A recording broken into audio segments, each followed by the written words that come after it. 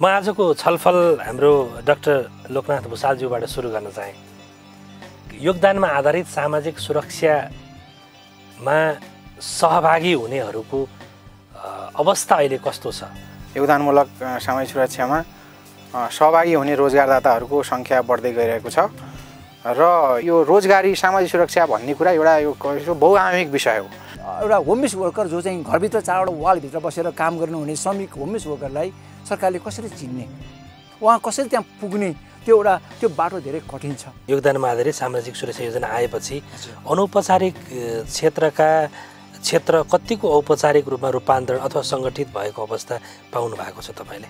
हिजोका दिनमा जुन पिँधमा उत्पादनको बजार श्रम बजारको पिँधमा बसेर काम गर्ने श्रमिकहरू जो अहिले पनि खास गरी त्योभित्र पनि स्वरोजगार श्रमिकहरू।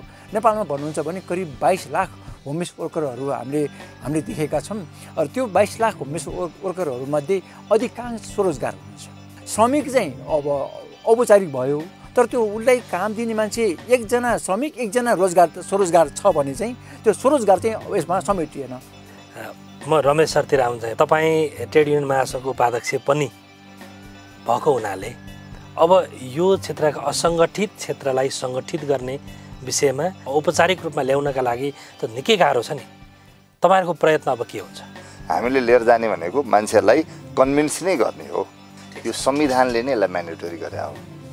संविधानको धारा चौतिसले प्रत्येक श्रमिकहरू योगदानमा आधारित सामाजिक सुरक्षाबाट वञ्चित हुने छैन भनेर भन्ने कुरोको ग्यारेन्टी गरेका छ। त्यही भएको हुनाले ऐन बन्दाखेरि पनि यो म्यान्डेटोरी हिसाबले बन्यो। डाक्टर साहब अब तपाईँ एकदम महत्त्वपूर्ण यो योजनामा हुनुहुन्छ।